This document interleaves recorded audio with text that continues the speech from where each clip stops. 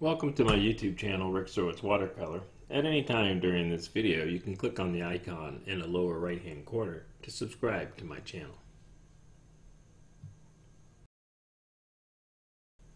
This is the narrated step-by-step -step tutorial for my painting, Wired.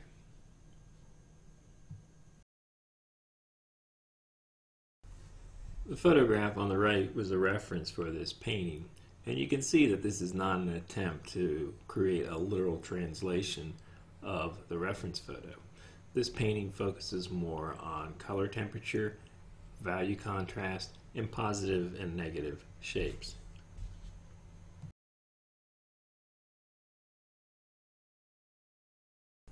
These are two quick value studies that I did in my sketchbook to experiment with the light source and value patterns.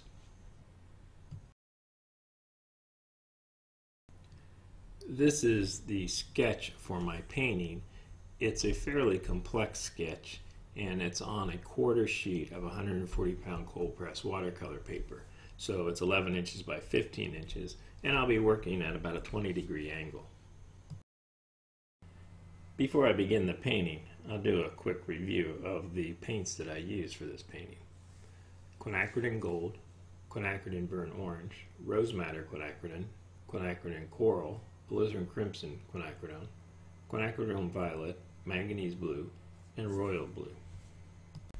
You'll notice that I'm using a lot of quinacridone colors. These are probably most of the quinacridones I have on my palette, and that's because this is uh, primarily a dominant warm painting.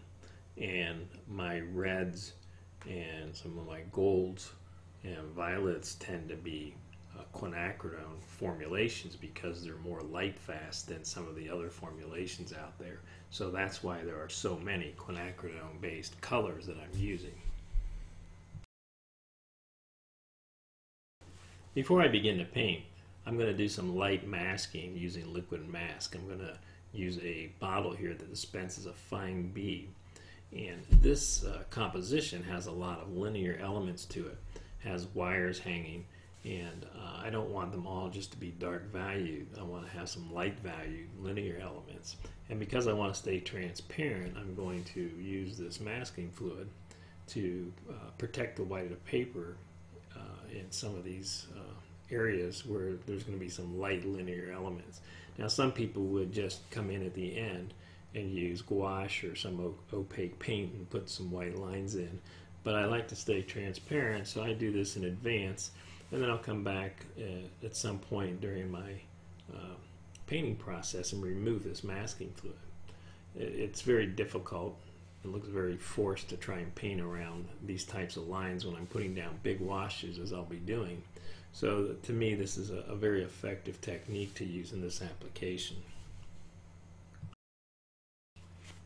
I'm going to begin uh, by applying a light wash using a one inch flat brush and this is some quinacridone gold that's been toned down a bit with a little bit of red and a little bit of uh, manganese blue.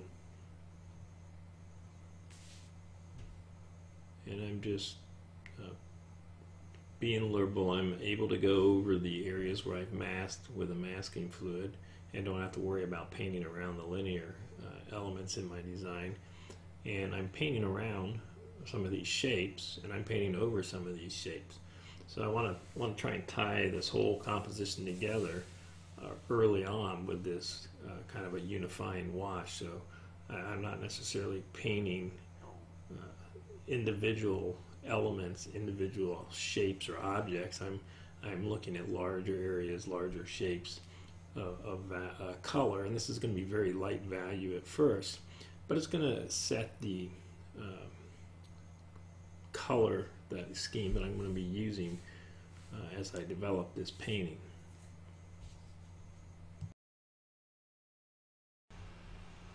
As I put this wash down, I'm using one of my value studies as a guide for uh, the light source and the value pattern that I'm using. And this this is still very light value, very very light value. The, these uh, colors are going to get more intense and the values are going to get uh, darker as I develop my painting.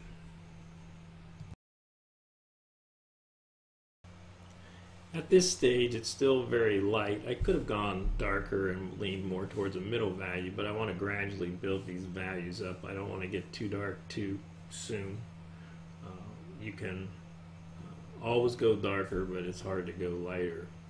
So you can see that I've got a, a variety of warm and cool uh, throughout the wash, but it's going to be primarily uh, a warm composition, so it'll have a warm dominance.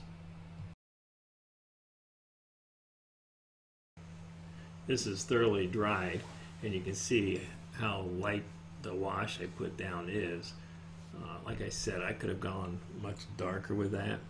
Um, I'm going to start to develop my values now.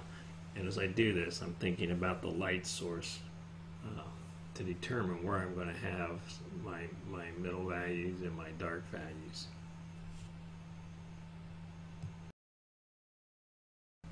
The colors I'm using right now are manganese blue, uh, quinacridone burnt orange, some uh, rose madder quinacridone, and I just uh, switch from one to the other and I let these washes just kind of blend. I, it's really one wash. I'm just using multiple colors and I let those gradate from one into the other.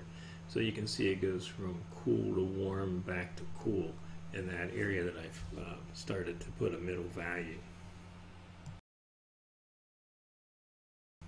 I'm continuing to add uh, this wash on the, some of the shadow sides of the building and I've switched to a half inch flat brush but I'm still using the same color combinations at this point. And here again I've switched from cool to warm. That's quinacridone burnt orange. And I'll, I'll stress again how I'm not painting individual objects right now. I'm looking at the larger shapes. I'm looking at the whole shadow side of that building and that shape that it makes. And you can see how that value runs uh, uh, into the, the area underneath the gutter or the overhang of the roof. And I, I didn't paint those separately. I painted them as, a, as one shape.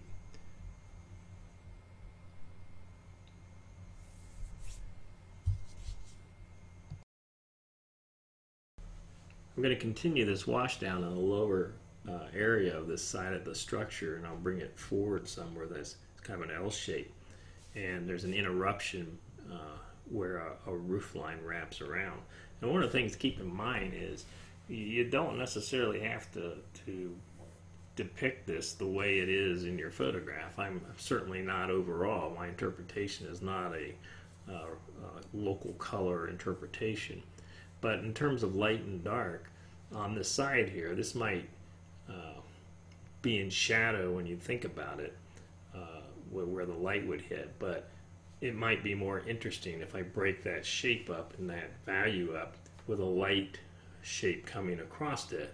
So if I feel it's better designed and more interesting, I might do something that maybe it doesn't necessarily make as much sense when you when you really analyze it, but it makes for a more interesting painting. So my point here is don't just copy everything you see in the photograph. Uh, everything is subject to interpretation and expression. So uh, make a painting, don't copy photographs.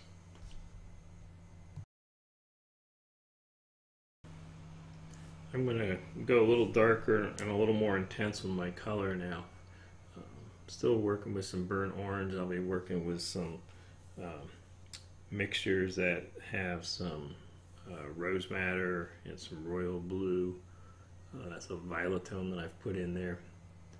And I'm working with positive and negative areas here.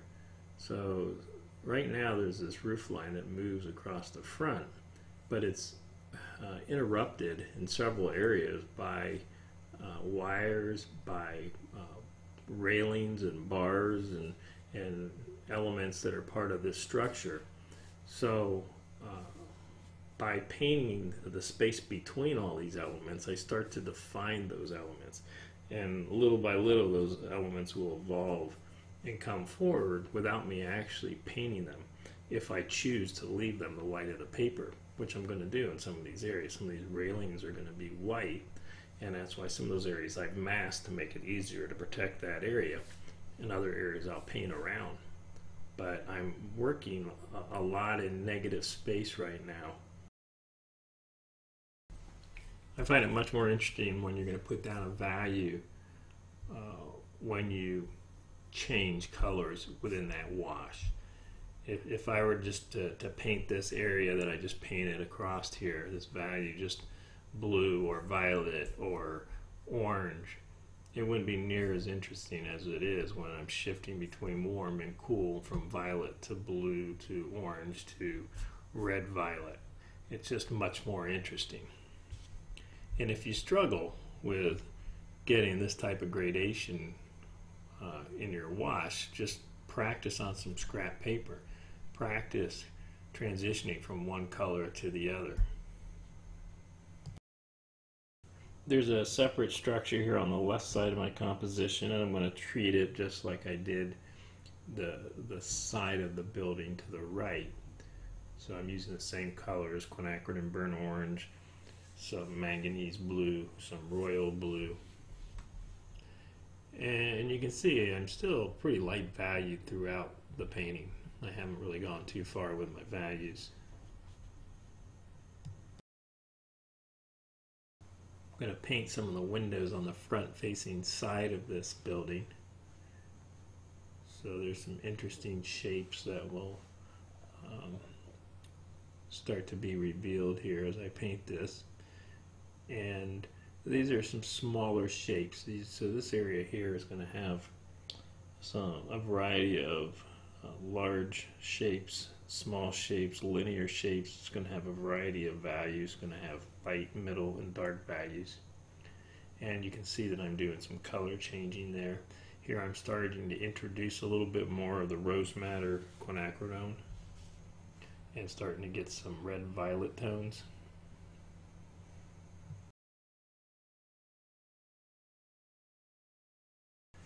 Here I'm continuing to bring these window shapes across. You can see from the left to right how many different shapes I have. And they're not all the same. They're uh, a little bit different in length in some areas. They're a little bit wider. And I've broken them up a little bit differently. And then they have other shapes that interrupt them. So it's uh, the, same type of a, a window shape, but there's a lot of variation within that.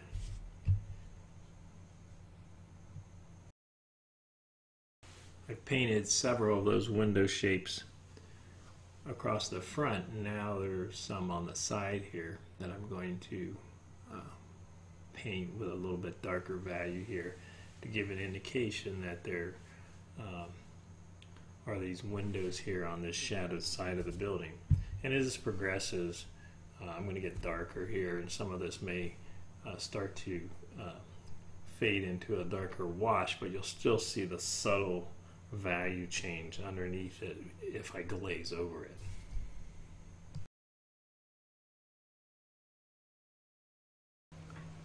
I'm continuing down the side here and uh, I'm switching to a half inch flat brush. Sometimes when I'm painting these windows on structures I'll use a round brush and other times I'll just use a, a half inch flat. And you can just make a nice uh, expressive brushstroke and leave it with a half inch flat brush. There's not a lot of filling that you have to do. Uh, just make a mark and move on.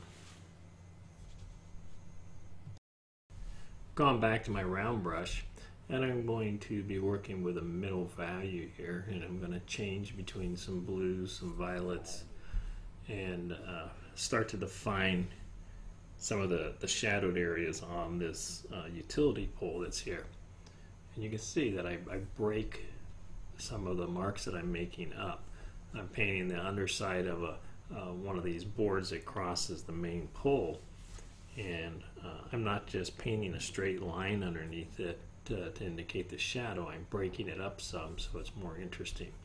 Um, and it suggests that there's some overlap or there could be an object blocking the view there and um, those uh, lost and found lines, just like lost and found edges, the eye will complete as the viewer looks at it.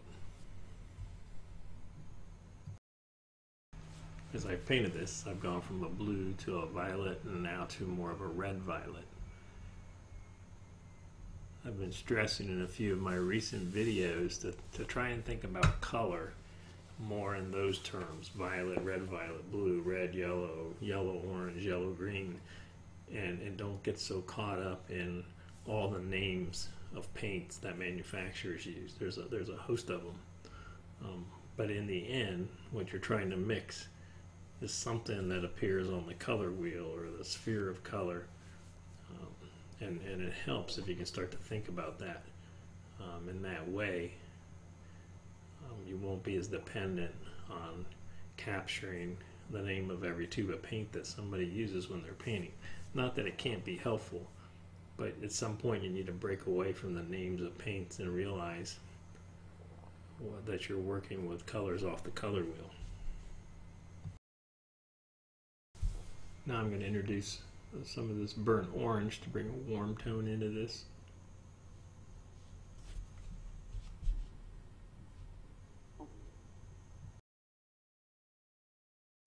I've thoroughly dried this and now I have my uh, round wash brush and I'm going to come back over this sky area here with a little bit more uh, color intensity. I could have gone much brighter and a little darker with my initial wash, um, but I kept it light and kept it toned down.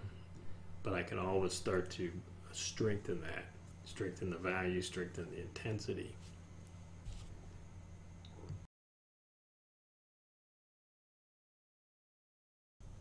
I'm going to bring a little bit more of cooler tones here in the sky area. I'm going to uh, soften that a little bit as it moves into the, to the warm area there, just to help that transition. I'm going to remove the masking fluid and you can see all the linear uh, elements that I have in my composition because of where I put that masking fluid. Now some of these I'm going to be glazing over, uh, but they'll remain light, so not everything is going to remain white. Um, some areas are going to be light shapes, but uh, using the masking fluid to, to preserve those lighter areas is still uh, an effective way to do that.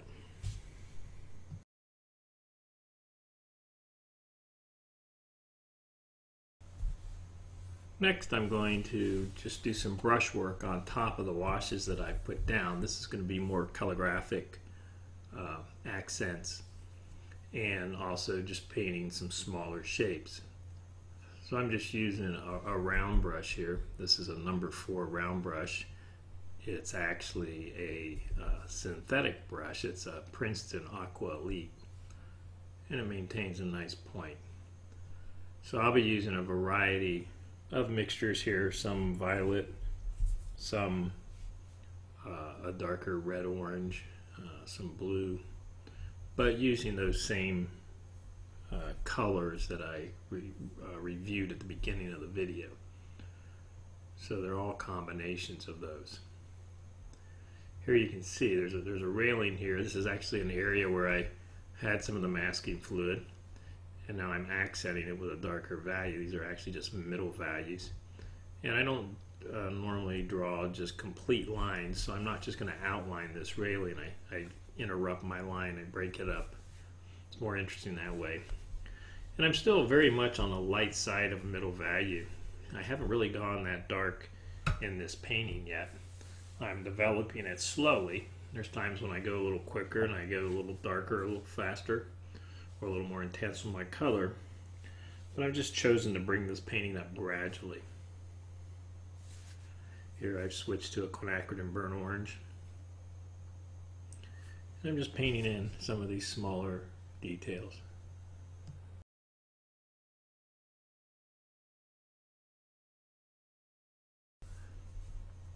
As I add this brushwork, I'll move around the entire composition is how I like to work. I like to bring the whole painting along as a, as a total composition and and gradually bring up and develop the whole painting as opposed to just focusing on one small area and filling it in and then moving to the next and filling it in.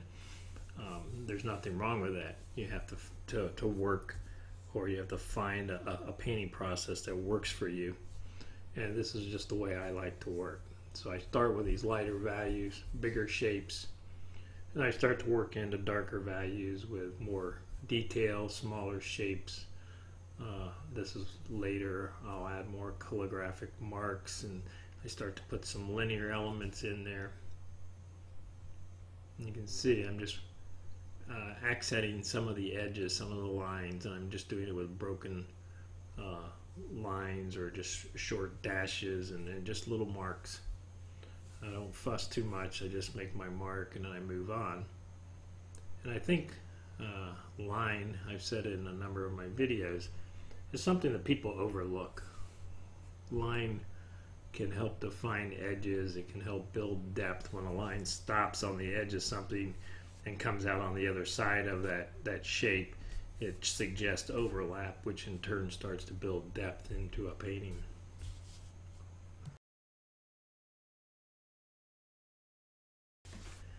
To this point, the colors I've used uh, have been pretty pastelish, the mixtures, and I'm going to start to get um, some more intense color into my painting. This is a quinacridone burnt orange.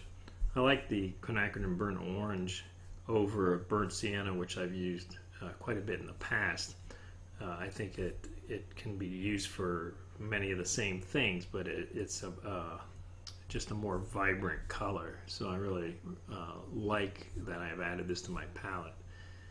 If you look at this painting overall, if you were to use a value scale on this, a, a value checker, you'd see that I'm very much uh, in the light to middle value range.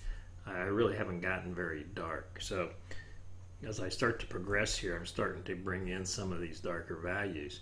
So I'm just building these layers, going from white to light to middle value to dark, and going from larger shapes to, to smaller shapes and, and I start to get a little bit more precise with my brushwork. So here I start to define edges and I'm using line, I'm using some small washes.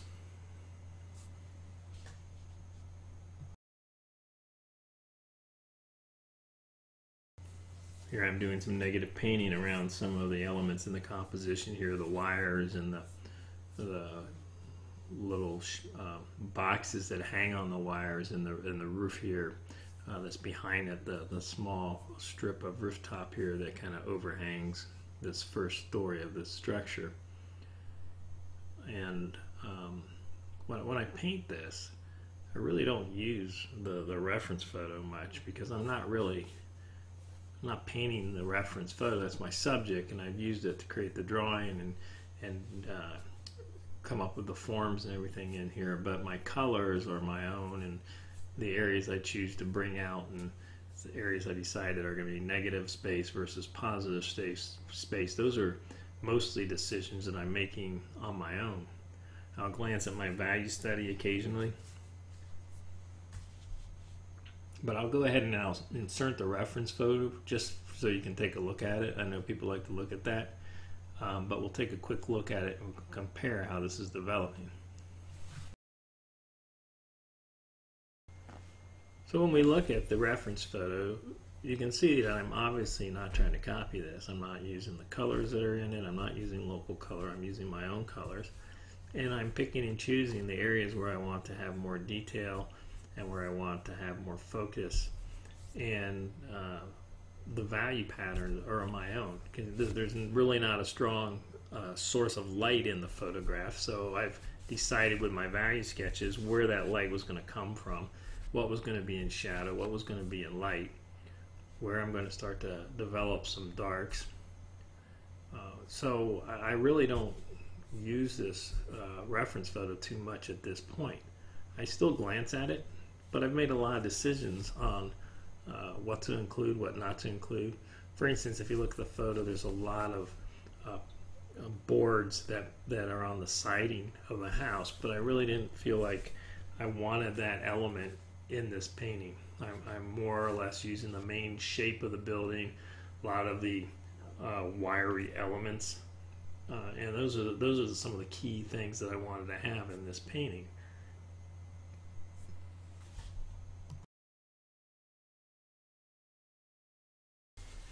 I want to start to differentiate uh, the the side of the structure that's being illuminated by light source and, and the other sides which are in shadow. So I'm going to start to glaze over some of what, some of what I've already put down. Um, as I had said, I could have gone darker earlier, but I just wanted to build this up slowly, and I'll just build some layers until I get to the value and intensity that I'm after. And you can see that this wash isn't just one color again. There, there's a, a gradation of uh, this kind of a red violet into a, a, gold, into some blue, which has turned it a little bit green because of the interaction on the paper.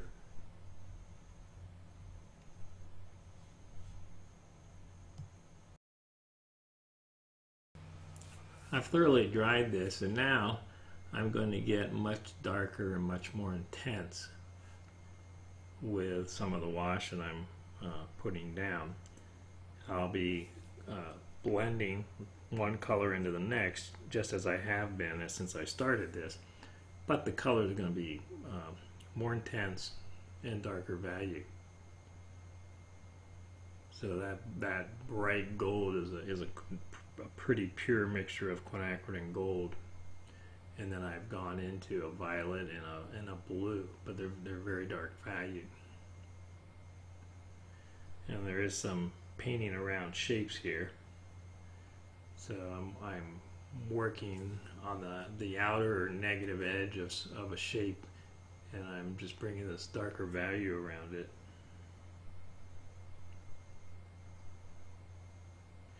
And you can see if I had a value scale here, how now I've really started to go darker with my value. And in terms of color intensity, it's stepped up also, so it's a, a much higher uh, chroma value of the mixture that I'm working with right now.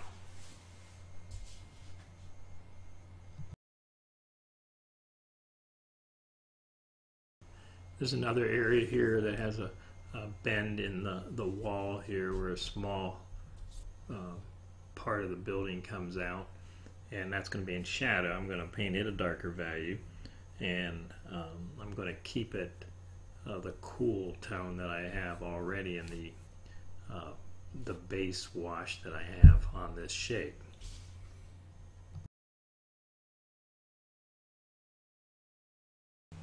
I began to paint an area here towards the top of this structure. And if you notice this wash, I've started with a manganese blue, then I've gone to a quinacridone burnt orange. You can see how it's gone from a strong cool tone to a, a strong warm tone. And then I'll also notice how there's uh, a connectivity with the with the shapes. I have that, that shape that I just painted that's underneath the overhang of that roof. But I'm carrying that same value and those colors right into the side of this building. So I didn't paint those separately. I didn't paint the, the underside of the roof by itself and then come in and paint the, the gutter on the side by itself and then paint the wall by itself. I'm still thinking about large shapes as I develop my painting. And sometimes this would have been uh, tackled a little earlier if I'd gone darker sooner. But uh, even at this stage, I'm still thinking in, in areas about large areas of value because I don't have enough depth in this painting yet. I don't have enough value contrast. It's still a pretty flat looking uh, painting. As I start to build these values though, you're going to start to to be able to see more uh, of the form here. More, it's going to seem more three dimensional. It's not going to be as flat, and you're going to start to see that depth in the painting.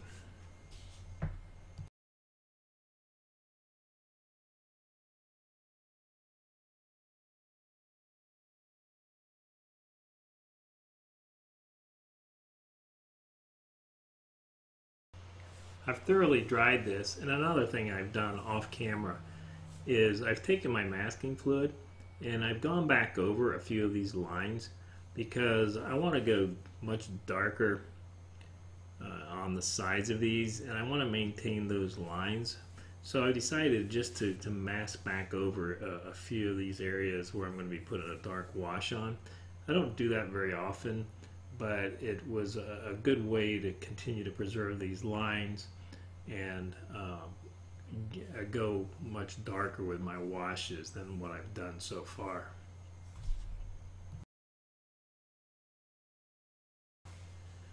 As I apply this wash, I'm using a, a violet there, a little bit of a red violet, and you can see those go into uh, eight from one into the other with a very nice transition and they can mingle and it's not going to uh, muddy the paint too much. You're not going to lose the, the intensity of the color because you're working with analogous colors there. But now I'm going to start to bring in some quinacridone gold and a lot of mixing of these colors on the paper and I'd start to get some grays because we're, we're working with colors on opposite sides of the color wheel. But I'm working wet on dry and I'm applying this in a manner that it's just a continuation of my wash. So I'm not doing a lot of mixing on the paper. There, there, it's more of a variegated wash, although I'm working on dry. You normally do that on wet on wet. Um, and I do get some grays, so I do get some neutrals, but that just helps pop the intensity in the areas where the, the, the color is more pure and much more intense. But I'm applying this as a, as a single wash, and I'm just changing the color that I'm loading in my brush as I bring it back to my brush back to the paper. But it's a much more interesting wash than just a plain flat one color uh, wash.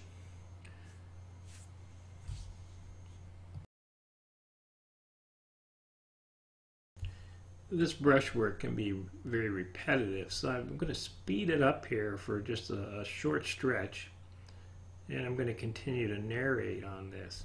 So this is more of the same type of brushwork that I've been doing. However, I'm working with some more and more dark values. And you can see some of the areas that I already painted that were pretty dark looking when I put them on, but as they dry, they dry much lighter.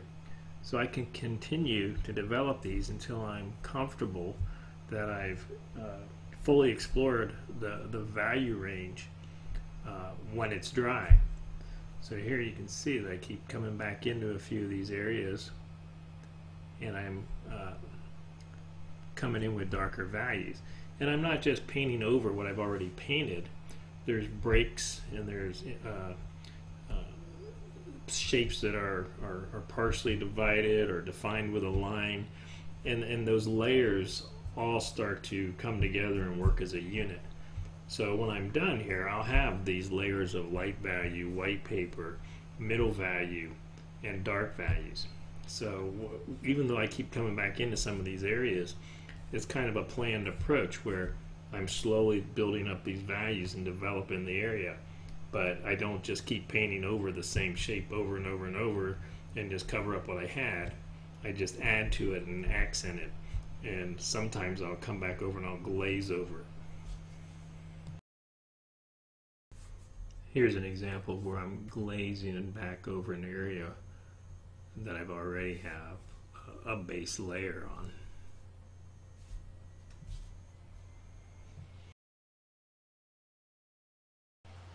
I'm back to normal speed and I'm going to take my wash brush and I want a little bit more color intensity in the sky. This is the third time I've come back into this. And I'm also going to glaze over some of those areas where I had masked the linear shapes uh, to, to represent the wires. And I'm going to glaze over some of those. So uh, they're not going to be the pure white of the paper, but they're going to be a light value. They're going to be a lighter value than the surrounding area.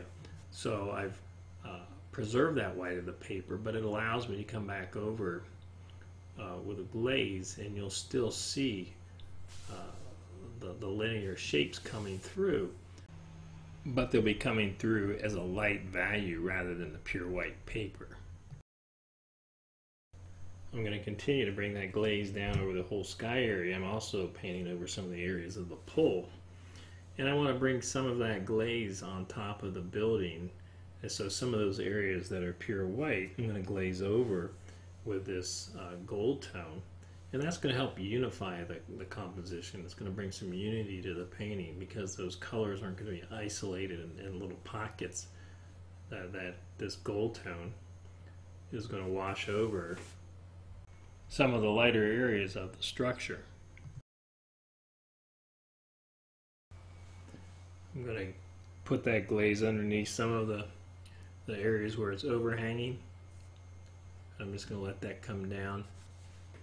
See, these are the types of things that you're not going to get out of your, your reference photo. These are decisions that you have to make on your own. I want to soften that and just let that run down the face. So I have some areas where it's glazed, and I have some other areas where the white of the paper is going to remain.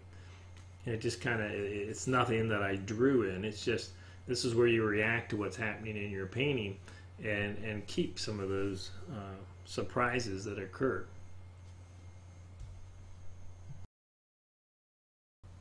I'm going to bring in a, a, little stronger color also on the other side of this sky with a, a combination of a red violet, violet, blue violet. So I'm just taking my wash brush and then I'm going to soften that a little bit with some water and blot it with a tissue.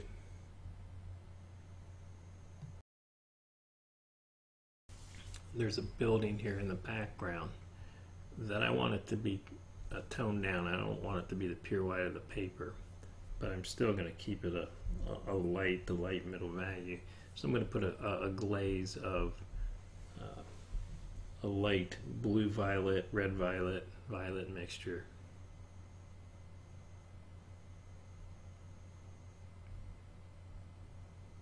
So that starts to, to separate that, that distant building from the, the structure that's closer to us just by toning that down.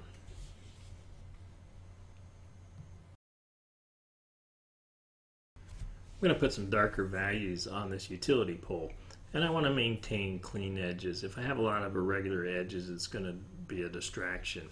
So I'm going to use some rice tape uh, on either side of this pole and put it down and smooth it down with my finger and the rice tape creates a pretty good seal and it doesn't damage the paper when you lift it. So I'm going to use this to uh, help allow me maintain clean edges. If I did it freehand, uh, I, I, could do a pretty good job, but there's a chance that I might go off track a little bit there in that light sky and um, or have a, a bit of an irregular edge and the more I fuss to try and clean it up the worse it'll probably get. So uh, this is a, a, nice easy solution. I can put down some nice dark values. I can let some colors kind of mingle as I do this. And I don't have to worry about trying to maintain a straight edge at the same time. So I've got my quinacridone burnt orange, got a violet mixture. That violet is uh, some some some of that is the quinacridone violet with a little bit of blue in it, and some of it um, sometimes is a mixture of uh, alizarin crimson and royal blue. I've thoroughly dried my paper. Now I'm going to pull off the, the rice tape and you can see that I've maintained uh, a clean edge.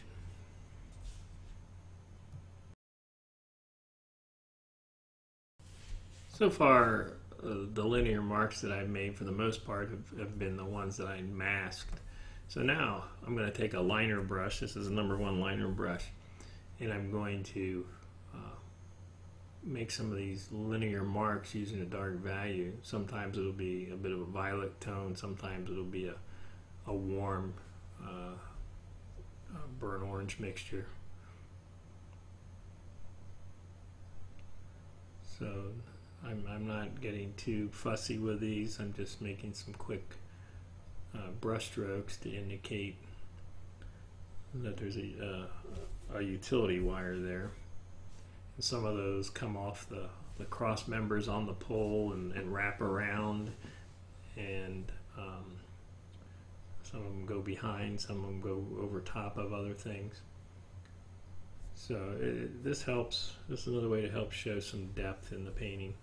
And I'm going to put some of this dark value to accent some of the areas where I've preserved the white of the paper and left a, a light linear mark. I'm going to come back and I'll touch it just like it's a, a shadow on, on the other side of a otherwise highlighted utility wire.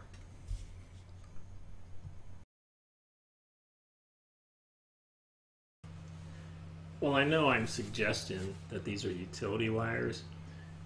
To me, I, I see it more as calligraphic marks uh, that just make the composition interesting. And some of these, how they twist around, they go at different angles. Some are longer than others, some are shorter, some are uh, straighter than some, some have a, a sharper radius to them.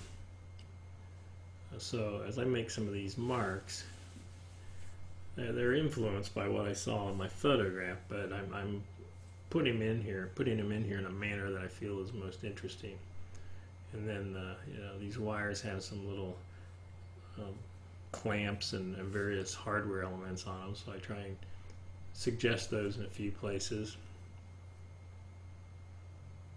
And you can see I'm not at all, at all trying to render something I see. I happened to, to, notice in the photograph there was a few wires that had a tight arc there and they kind of overlapped and I picked that up. Um, but uh, it's, it's really, I'm putting them in the areas I feel is going to help the design.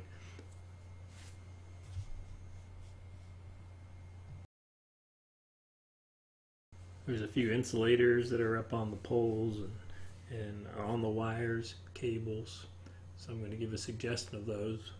I don't want to go overboard here because I, I don't want this to be the uh, where the where the viewer just immediately goes in and gets lost. So it's just some some uh, subtle suggestions of, uh, of this activity of these wires wrapping around and these insulators clamped on wires and on cross members here and and and the wires kind of tangling through each other.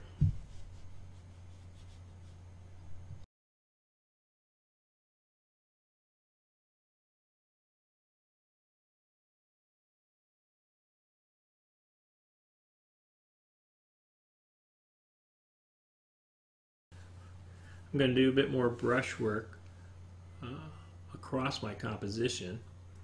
And uh, these are more calligraphic marks. And here I'm introducing some dark red violets that help tie this a little bit to some of the other areas of the painting. But this these are again these are, this is some linear brushwork where I'm, I'm using it to define edges or um, uh, just highlight specific areas of the painting just to, to give a little bit more contrast in, in a certain area.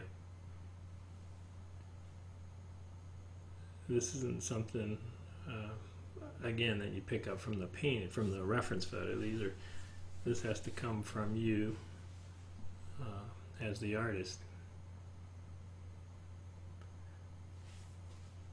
Here you can see I'm going on what would be an inside edge of that window and potentially in shadow but I don't want to do them all the same. So I, I, I don't I don't just do the exact same thing in every window.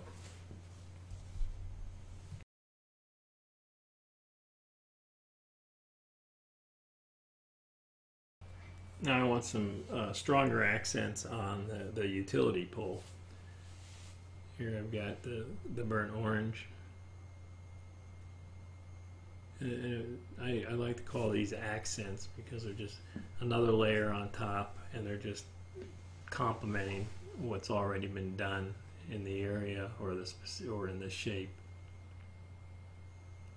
So this takes some of this nice rich burnt orange to this uh, utility pole and it helps tie it in more to the rest of the composition.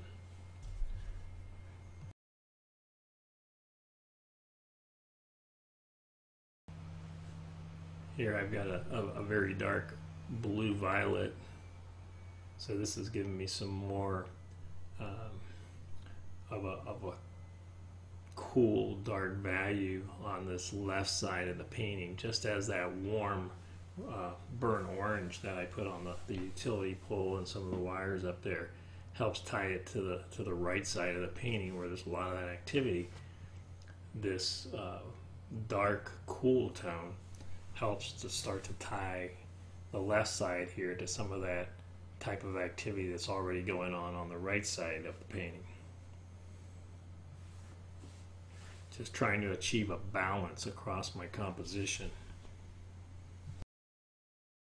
So as I get close to wrapping this painting up, I'll summarize a little bit about the process and, and how this evolved and, and, and what my objective in this painting.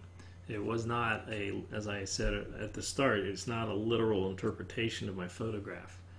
This is more a um, an interpretation of that subject that isn't at all isn't at all using local color. It's my own color scheme. It's uh, my own uh, value pattern and light source. And I've chosen as I've gone and uh, as I've developed this where to make many of these brush strokes as I've as I've moved through my process.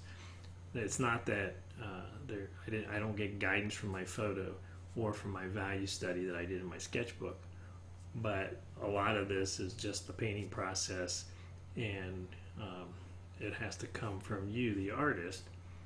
Where I'm making some of these brush marks, I'm trying to uh, achieve something. I have a purpose. I don't just randomly uh, put my, my marks down, although they seem random. I'm trying to define edges and I'm trying to bring uh, stronger contrast to an area or bring attention. There's reasons for making the marks that I'm making. I'm trying to balance the overall composition. But this painting was less about trying to create a historic rep- record of a, of a subject. It was more about shapes and color, warm and cool, and, and working in positive and negative space.